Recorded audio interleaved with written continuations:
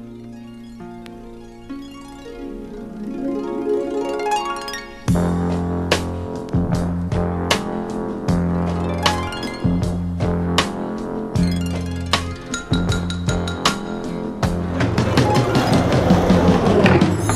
the curtains hanging in the window in the evening on a Friday.